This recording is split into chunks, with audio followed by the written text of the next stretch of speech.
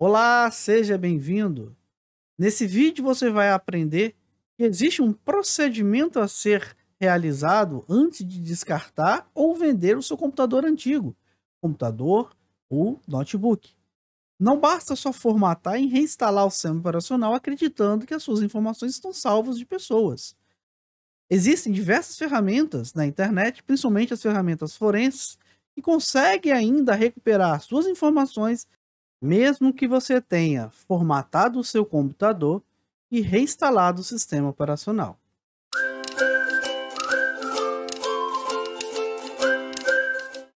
Eu sou Rony Mendes e no vídeo de hoje eu venho responder a uma interação de um seguidor lá do Instagram.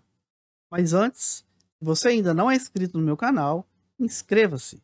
Assim você vai ficar por dentro de todos os novos vídeos que eu posto no canal e aumentando ainda mais o seu conhecimento dentro da segurança da informação. E critique, dê sua sugestão, elogios, faça questionamentos nos comentários do vídeo. Vou estar sempre à disposição de estar sempre ajudando a todos vocês. Agora a questão de hoje é a seguinte. O usuário ele vendeu seu computador, seu notebook e queria saber se, por ter formatado e instalado novamente o Windows e vendido o seu notebook, se as informações dele estavam seguras.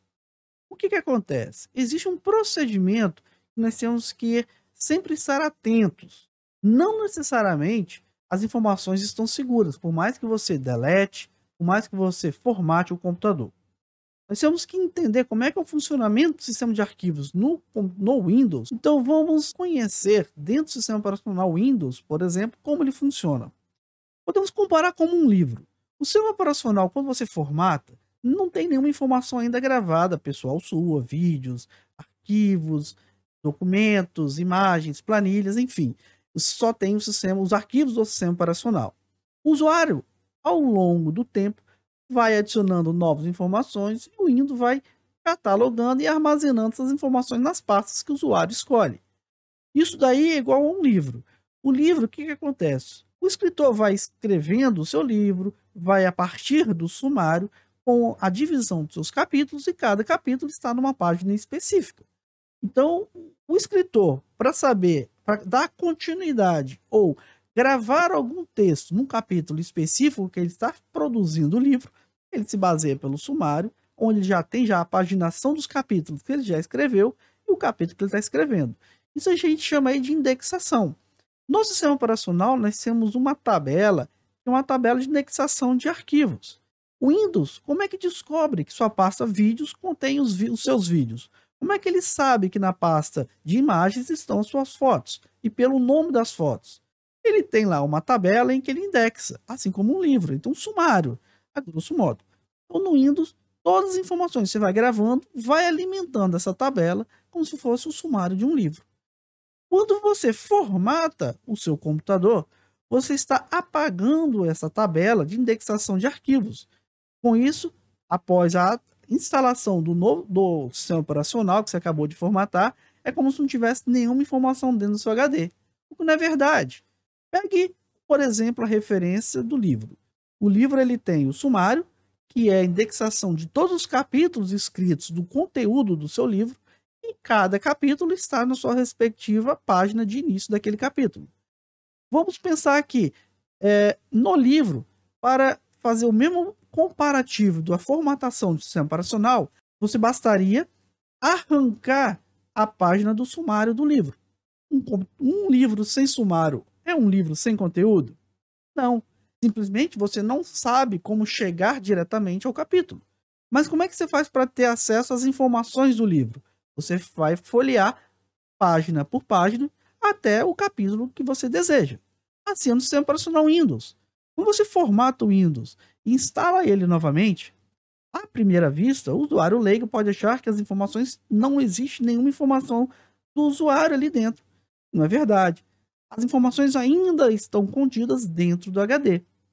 E aí, você, ao longo do tempo, vai colocando novos arquivos dentro do seu sistema operacional recém-instalado, e aí então as informações que antes continham no HD elas vão sendo sobrescritas. Se pessoas mal intencionadas pegarem o seu computador, o seu notebook, o seu HD, mesmo que você achando que está seguro, que ninguém vai ter mais acesso, porque você formatou o computador o HD e reinstalou o sistema operacional, existem ferramentas forenses na internet, algumas gratuitas e outras pagas, que conseguem recuperar todas as informações que contém no computador, no HD. Então, você precisa realizar um procedimento para evitar esse tipo de situação.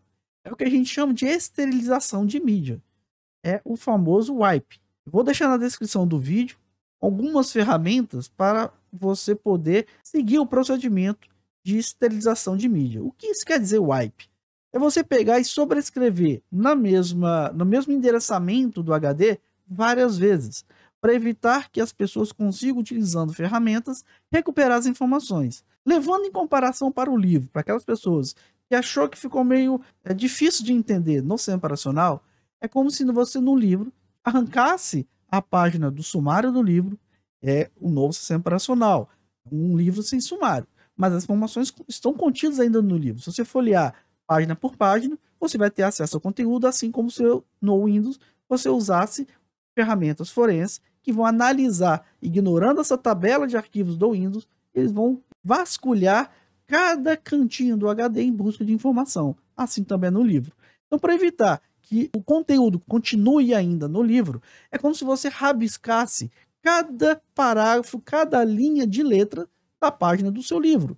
E vai chegar um momento em que você vai rabiscar tanto, escrever tanto por cima das letras do livro, que vai ficar impossível de ler as informações do livro, de todas as páginas, de todos os capítulos.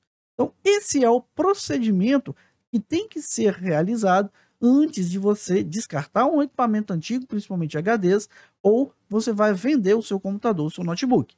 Fazendo o procedimento de wipe, esterilização dos dados da mídia física de armazenamento, aí sim você terá uma segurança e evitará que pessoas mal intencionadas consigam ter acesso às suas informações sigilosas, pessoais. Então eu sugiro, antes de você descartar qualquer HD antigo ou vender um equipamento usado, você faça a esterilização da mídia de armazenamento pelo processo de wipe, ou até mesmo, para aqueles que puderem, comprar um HD, mesmo com menos capacidade de armazenamento, mas que coloque ele do zero, aquele HD que nunca foi usado e deixe o seu HD antigo com você, guardado de sua posse, que aí você vai ter a certeza que ninguém vai conseguir ter acesso às suas informações.